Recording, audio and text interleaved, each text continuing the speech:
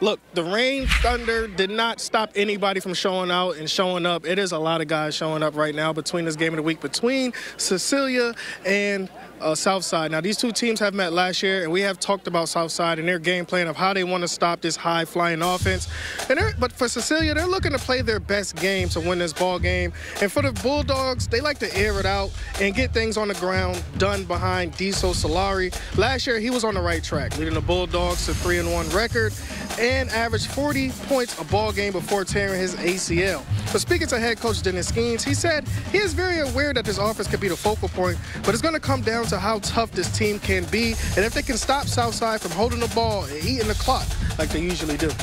Like that, I'm more of a defensive guy. I mean, we're gonna we're gonna have to have some stops if we want to win the game. You know, uh, the thing about them is sometimes you don't get them. You're probably not gonna get a three and out with this team, but you might get a maybe a five and out or a seven or something. You just got to find a way to get off the field defensively and put the ball in your offensive hands.